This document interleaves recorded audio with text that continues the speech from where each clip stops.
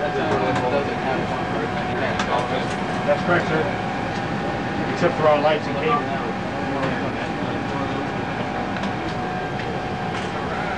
Hi, Mom. I'm gonna wait for a few people to come down. Hey, where's the lock? Hey, Mark. Drinking my Mountain Dew. Make sure Pearl No, it is not. Raising them one scoop. Hi kids, what he's doing now is he's raising and lowering number one periscope. Uh, we're warming up because it's kind of cold up here today. It's about uh, 8 degrees outside. And uh, what we're doing is we're stationing a maneuvering watch. I'm going to be taking you on a ride on board USS Trepang. We're going out for approximately 10 days to do some uh, work with another submarine to make sure they're ready to go to sea. Uh, we have stationed a maneuvering watch and what that is is a special watch that we set that uh, we need additional personnel on hand so we can get underway safely. Uh, submarines are not as maneuverable as some of the other ships that uh, you're probably used to seeing. Uh, like I said, he's warming it up because it's very cold and he's putting down the handles here and uh, be looking out here shortly. And what the guy there is doing, that's uh, Petty Officer Nicholas. He's a leading quartermaster on board. And the quartermasters are the people who do the map, maps on board and tell us where we can go. And uh, he's looking out number one periscope uh, to make sure we're safely going in the direction we need to go. The guy in the khaki looking uniform, that's Chief Waters. And uh, when you're wearing a blue shirts like uh, Pastor Nicholas is, and I'm, I am wearing, uh, you're what we call an enlisted personnel. Chief Waters was an enlisted personnel, but they're what we call a chief. You know you didn't come all the way. And that guy there is Mr. Oller, and he's an officer in the Navy. Officers are the people who have gone to college and have learned a, a little bit more, and I highly recommend any of you go to college. Now, you probably want to see me, and you'll be seeing me here shortly as soon as I get somebody to hold the camera for me.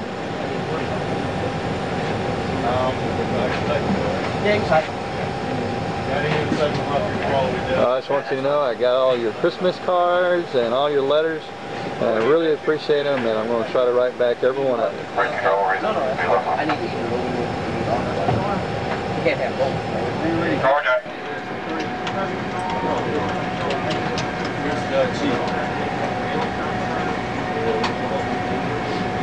Now, what that guy's doing, he's on a radar. Yeah, I'm sure all of you know what a radar is, but if you don't, it's a radar transmitter that uh, so we can see contacts around us. And that's the actual radar right there. Keep your low level.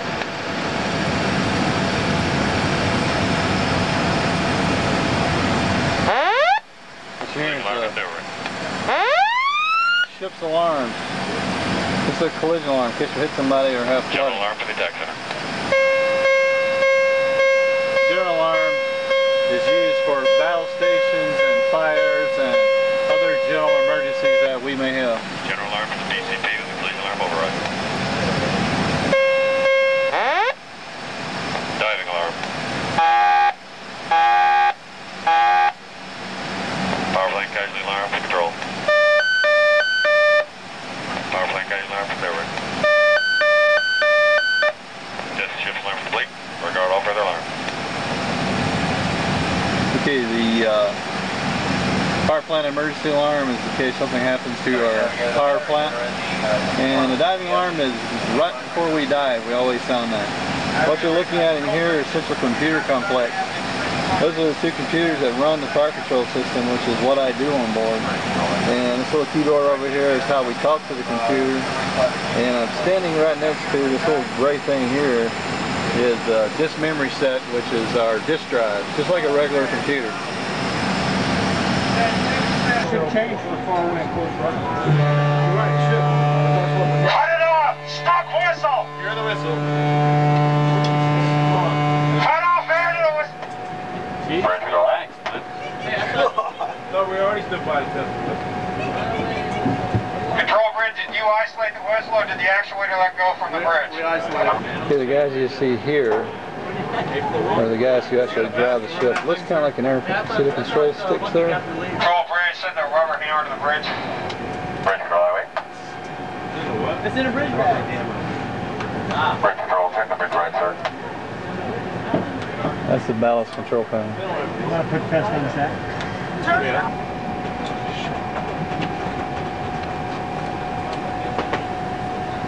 You have to watch this. Messenger on wake ups. Messenger's doing wake up sign. Hey, inform personnel when you wake them up that the reason you can pull that sheet out and just take the one sheet instead of the whole book. Alright?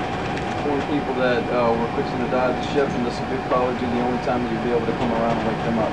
Alright? And that's the reason that it's early also.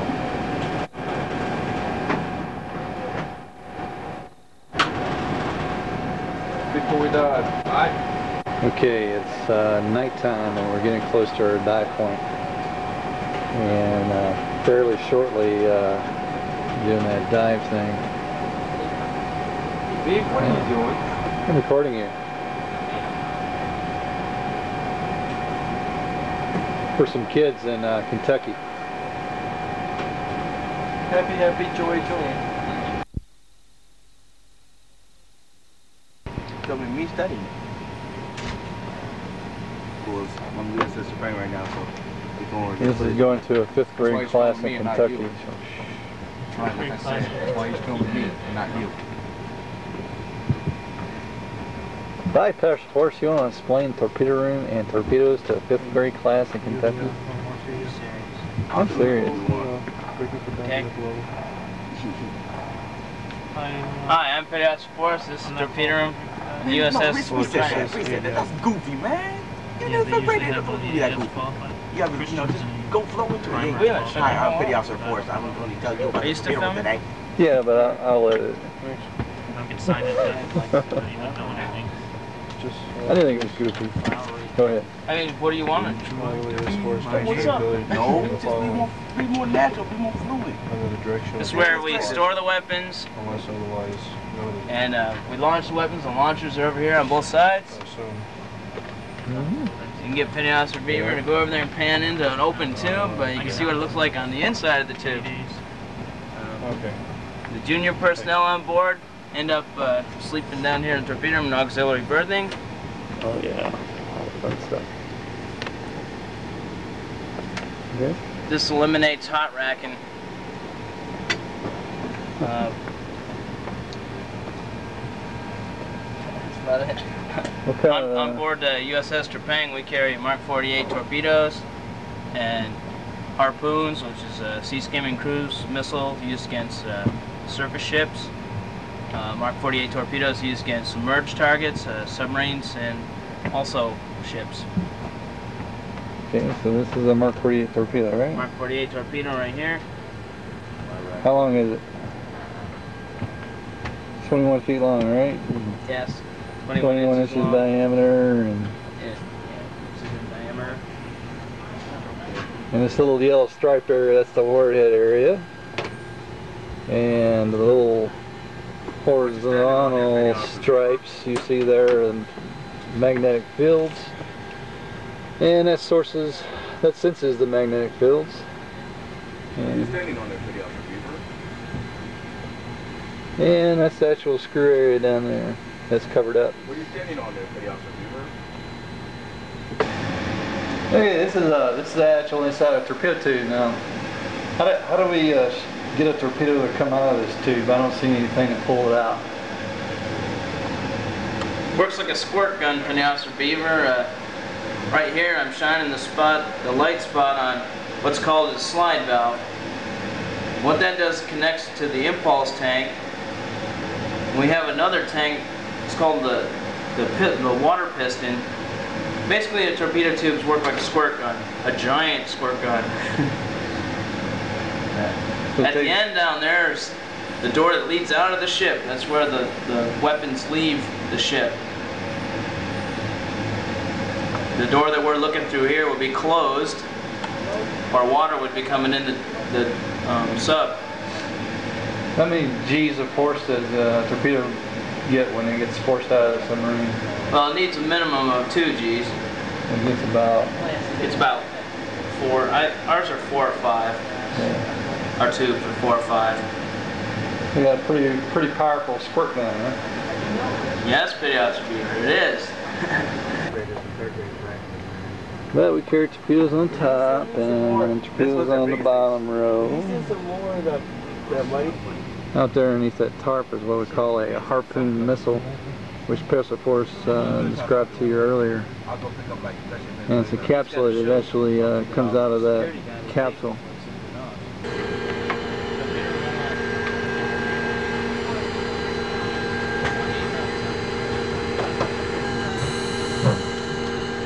Uh,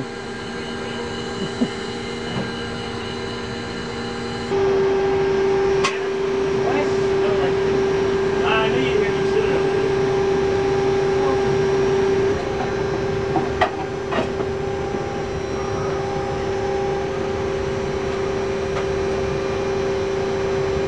Come on.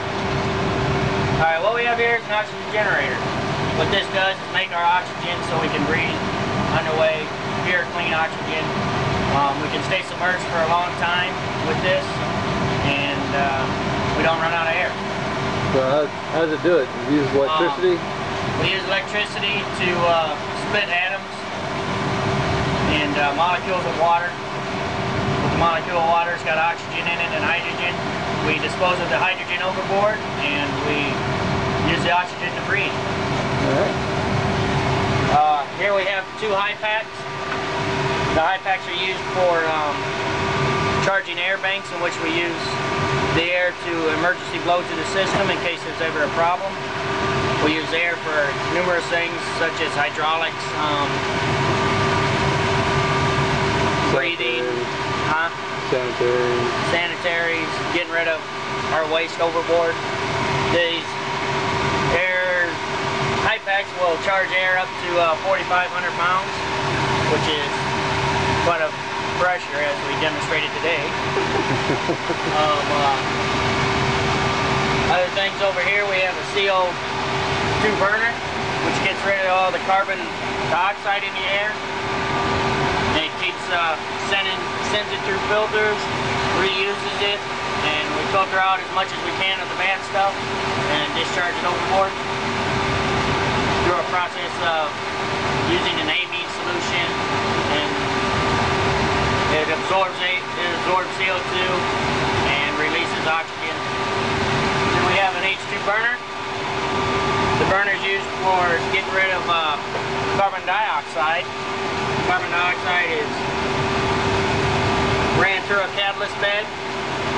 It's heated up and made into water. The water is just pumped overboard. What does the catalyst do? Uh, it gives a catalytic reaction, is what it's called. It, uh, when it heats up, it actually uses a molecule of oxygen and adds it to the hydrogen, which makes water. And uh, that's about it.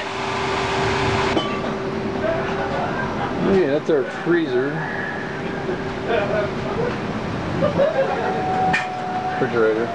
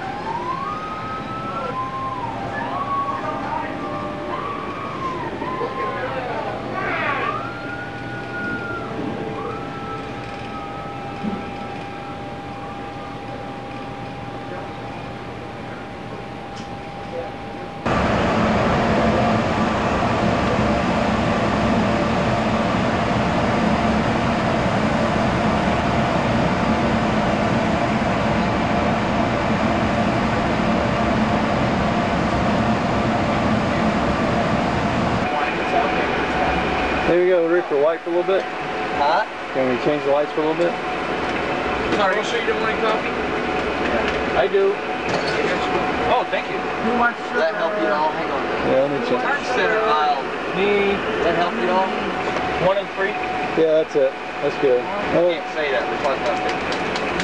Are you guys done arguing over your topic?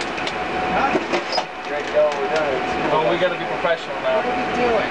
Doing a school lesson. Oh, well. You can't say that either. You ready? this is sonar control room. This is pretty much the eyes and the ears of the ship when we're submerged. Uh, we don't have any windows on board, so anytime we're submerged, we ship pretty much relies on us to tell what's out there. And we do that by listening all around us. The very front of the ship consists of a fiberglass nose that has a big ball, and on that ball there are over a thousand microphones that we use to listen all around us, up and down. That's what the three of us are doing. We're just listening all around, making sure there's no surface ships above. Make coffee too. If we should have to go to the surface, we want to make sure we know what's up there so we wouldn't hit it. And of course, other submarines or anything else of interest to us. Oh, what the heck? A lot of times we track everything from whales to Gunfire. dolphins. We have a contact right now, as a matter of fact. What is that? That sounds like gunfire. Unless they just crack the NAU up. Also, we had a SDA transit break once, and one two nine in progress investigating. Um, pretty much right there is what we do. We Certified killer. Look around, and analyze, and keep a good handle on what's around us. That's all I got. okay, bye. Question, no, like Chris, no certain, I don't want to shoot by the mark, man, keep the pilot operating. Here, keep you off the blind company.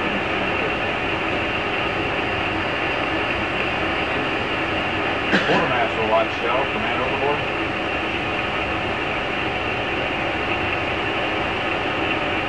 What?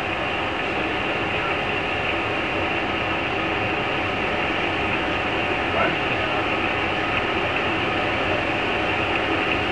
Immediately plot and position the ship to time and mark overboard. Form and bridge of the true bearing range command, not more than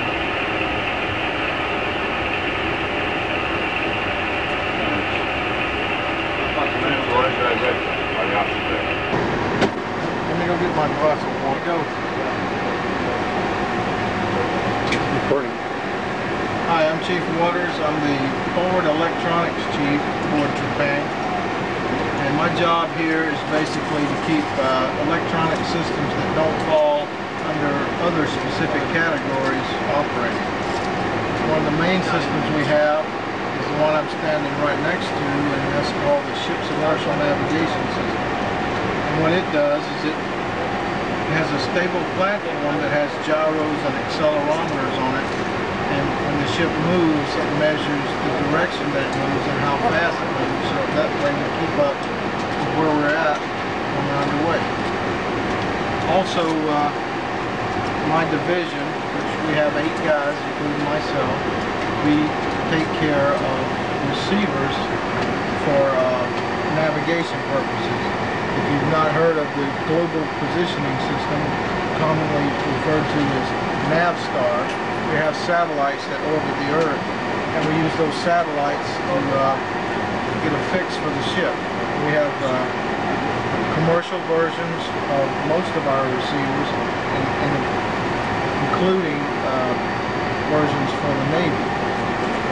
We also have the electronic surveillance measure system, which is a classified system, and I can't show you that, but we use that to uh, receive radar and communication signals and classify those for what type of ship they're on. That way we can tell who's out on the water with us, uh, whether it's a friendly guy or a bad guy maybe. Uh, other systems that we have are uh, the Omega Nav- navigation system, which uses eight stations around the world to uh, uh, fix the ship's position. Now that system is going away now that the GPS system is online, including uh, Loran Charlie, which is a coastal navigation system, and we have a commercial Loran Charlie system. Now that system is also slated to uh, disappear with, uh, with the GPS coming full online. I don't know exactly when that's happening. Uh, other than that, uh, my job on board as the senior electronics technician is uh, to drive the ship. I stand watches as the chief of the watch, which controls water and ballast in the ship, and I also stand watches as the diving officer. The diving officer's job is to uh, control the ship, ship's depth, uh, as ordered by the officer of the deck, who's a. Another watch that I stand is when we're on the surface, the officer of the deck shifts his watch up to the bridge, the big sail area, and he's up there. So I'm down below, and I'm using the periscopes to uh, to look for contacts, and these contacts I report to the officer of the deck, and that assists him to make sure that we uh, conduct safe navigation while we're on the surface.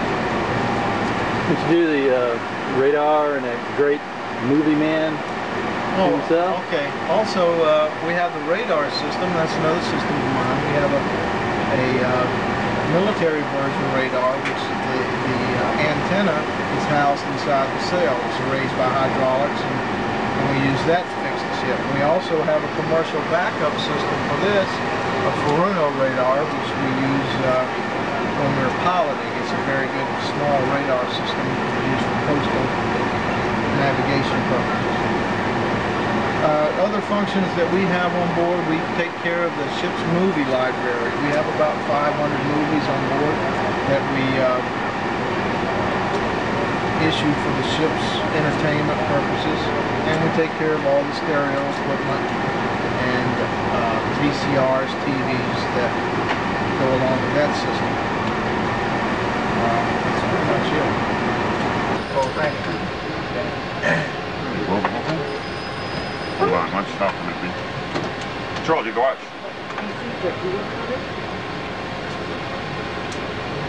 Well, yes, sir, I will.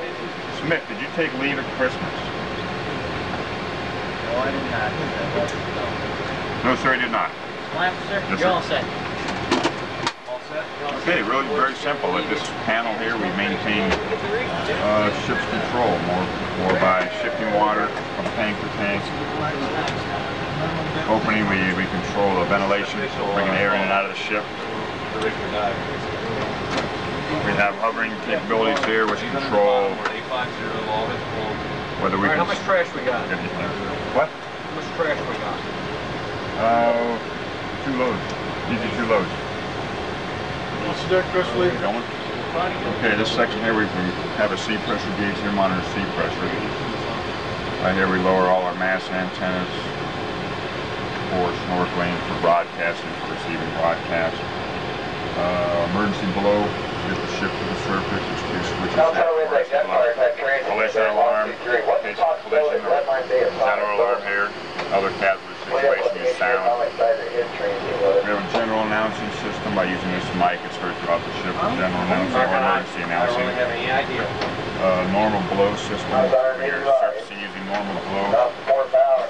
Switch here for the forward and get the group of main valves, tank vents to get the, or main valves tanks to get the water out and after the uh, so here you can see it says ready for dive. What they call a straight board. This indicates that they're all shut, so when you're submerged, you don't have any hole openings that are open, allowing water to come into ship. An alarm panel here which monitors various uh, villages, uh, high temperature alarms for gear throughout the ship. Control take a watch. A messenger has not returned yet. As soon as he returns, I will send an active team. Yes, sir. Hydraulic plants have uh, hydraulic plants back aft main train ships control hydraulics, steering and diving. With a uh, external hydraulic plant which raises and lowers your mast and antennas. It's really a very uh, simple thing. You bring all water in and pump water out of the ship using uh, these select different tanks throughout the ship the forward end to the after end of the ship. And here you can start a pump, line up valves to pump uh, water either, either you can flood it on or pump it off the ship. basically what you do here is it's, it's all ship's control and uh, trim of the ship can be controlled right here from this panel, plus uh, ventilating the ship and, and uh, getting the ship to the surface or diving it through bringing water on and off right here at this panel. You pretty much control it all, huh? That's it in a nutshell. Well, explain, explain what your duties are. Okay. Good morning, everybody. My name is MS2 Oxendine, and right now I'm preparing uh, the late meal after dinner, what's known as mid-rats, for basically everybody that has the midnight watch. That's why they call it mid-rats. And uh, I'm just cutting up some sausage here for uh, a gravy that I make up of biscuits and gravy. That's a favorite of the cook. Actually, it's a favorite of my own too. but uh, that's all that's really going on. It's a mess in here right now, but it's not always like that. Just prepping the meal and we underway we feed four times breakfast, lunch, dinner, and mid-rats. And I cover two of those meals. I cover mid-rats at breakfast. And in the morning I get relieved and the other guy does lunch and dinner. So basically we're busy around the clock. So that's about So all. who's got the easier job, the uh, mid-rats guy or the lunch guy? Well, it depends. I mean, actually, it depends on the meal that you have. Sometimes, you know, dinner is, I'd say actually the guys that do dinner really has it a lot tougher because you have drills and everything going on during the day. And lunch, really lunch and dinner are the busiest meals to have. Because every, more people are up during that time of the day than they are So during the, uh, nighttime. So. for the normal watch rotation, how many people you normally have to feed? anywhere underweight anywhere from 70 I'll say 60 to 70 people at a given time. So Okay. it's pretty busy. Basic kitchen.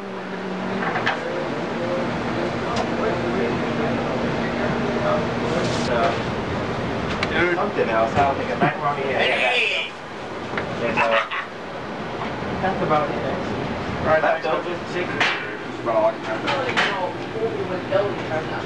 Hello, Petty Officer Beaver. Be nice. That's first family. Gotta be nice. Say, say Oh, hey, yeah. say hey, Miss Wagner, Hey, Miss Wagner. in Class 5C. take the skin off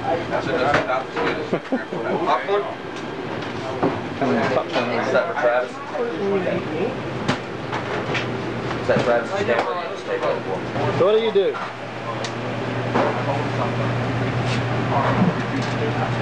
What do you do, man? Well, I help with the, I help the cooks keep everybody safe. So how long do you do that? Well, my time is up in a few days, but usually it's 120 days, but I should be doing it for 45 days. So is everybody that comes on board submarines do that? Yes, everybody on board a submarine will do that. We want Sting